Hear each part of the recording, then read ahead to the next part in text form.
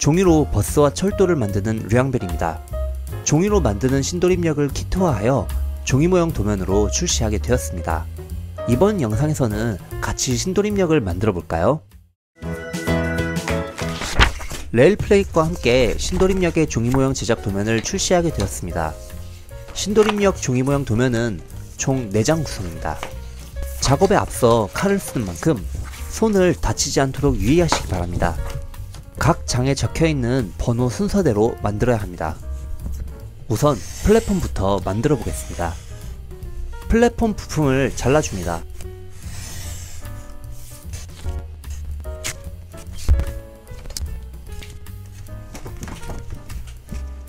잘 접히도록 칼을 뒤집은 후 그어줍니다. 이렇게 하면 칼선을 그은 부분이 잘 접히게 됩니다.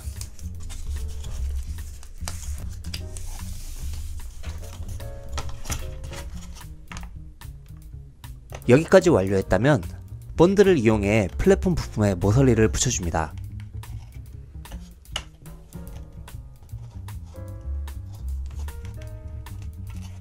모형의 기초가 될 플랫폼이 완성되었습니다.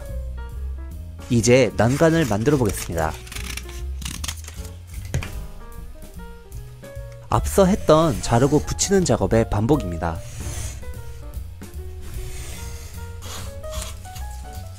마찬가지로 칼을 뒤집은 후 접는 선에 맞춰 그어줍니다.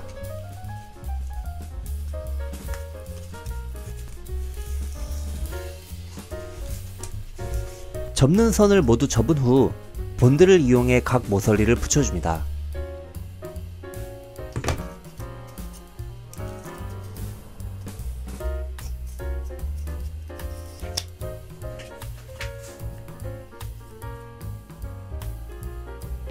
난간이 플랫폼의 안쪽을 향하도록 붙여줍니다.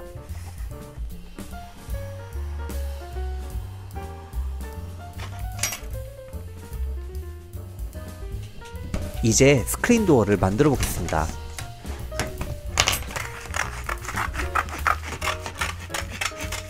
창문은 잘라도 되고 자르지 않아도 됩니다. 하지만 창문을 자르고 OSP 필름으로 마무리하는 게 더 실제랑 비슷해집니다.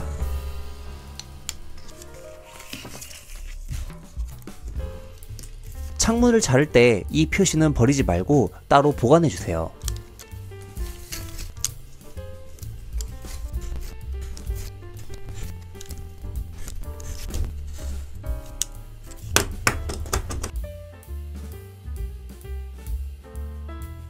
창문을 잘랐다면 검은 펜으로 창틀을 칠해줍니다. 물론 칠하지 않고 다음 단계로 진행해도 되지만 이렇게 시간을 들여 작업하면 모형이 더욱 깔끔해집니다.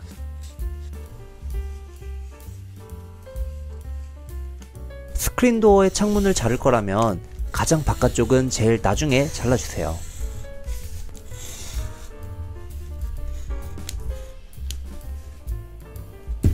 이전에 한 작업과 똑같이 칼을 뒤집어 접는 선을 그어줍니다. 이 부분의 검은 선은 잘라주세요.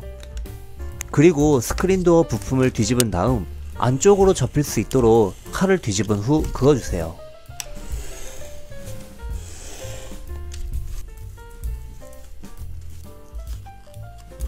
이렇게 접혀야 합니다.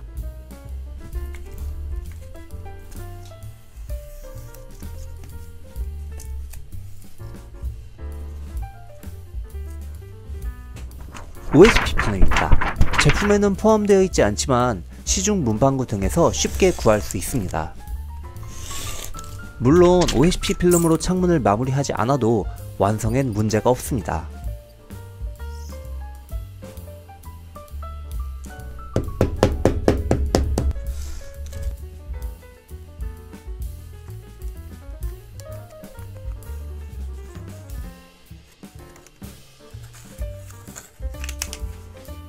만약 OHP 필름을 붙였다면 장애인석 표시 마크도 잘라 붙여주세요.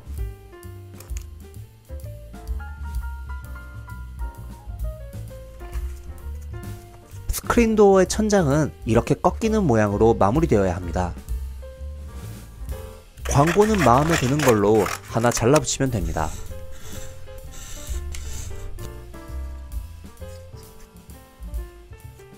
모든 작업이 완료되었다면 앞서 제작한 플랫폼에 스크린 도어를 붙여주세요.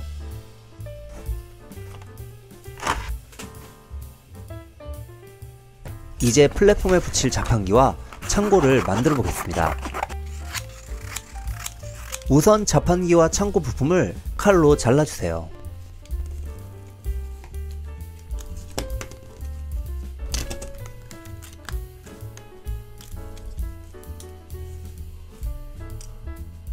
그리고 접히는 선에 칼을 뒤집어 칼집을 내어주세요.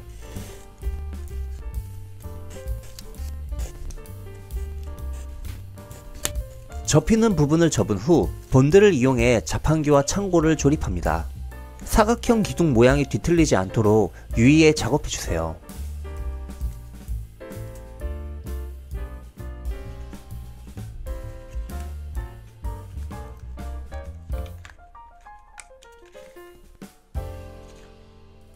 자판기와 창고 아래 적혀있는 숫자에 맞춰 플랫폼에 자판기와 창고를 붙여줍니다.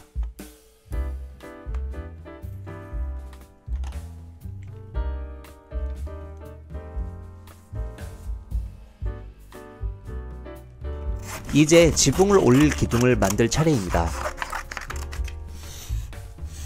전체적인 제작 과정은 앞서 제작한 과정들과 동일합니다.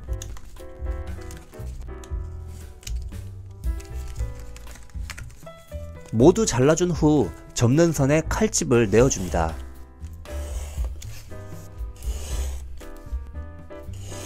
접는 영역을 접어준 후 기둥을 조립합니다.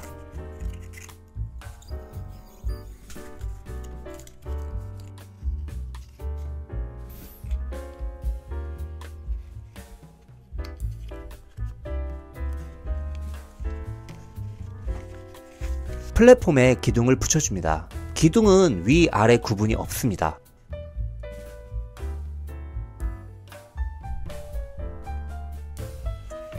이제 지붕을 만들 차례입니다.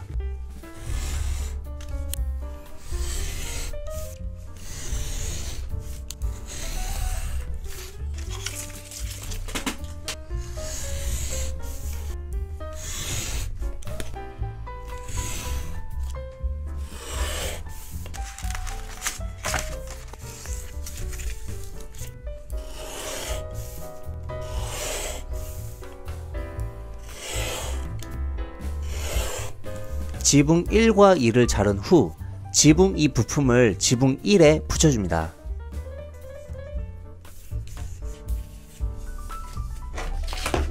지붕을 조립하기 전에 지붕에 붙일 표지판과 전광판을 만들어야 합니다. 접는 선을 그어준 후 표지판을 붙여줍니다. 그리고 표지판을 지붕에 붙일 수 있도록 끝을 T 모양으로 만들어줍니다. 검정 펜으로 마무리하면 모형이 더욱 깔끔해집니다. 전광판도 만드는 과정은 동일합니다.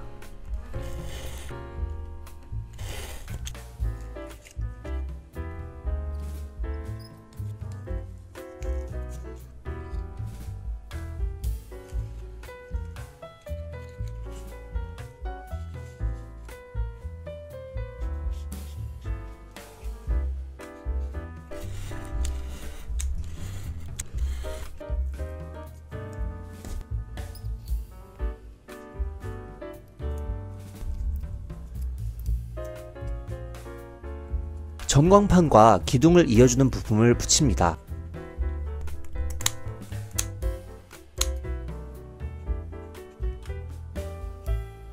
표지판과 전광판을 만들었습니다. 타는 곳 2번의 화살표가 바깥쪽으로 가야 합니다. 전광판은 앞뒤 내용이 같습니다. 전광판과 표지판을 천장에 붙였다면 이제 천장을 조립해줍니다.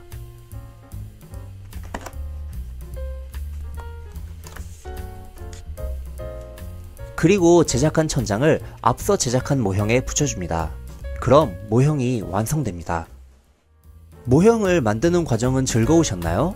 이번 영상에서는 함께 신도림역을 만들어 보았습니다.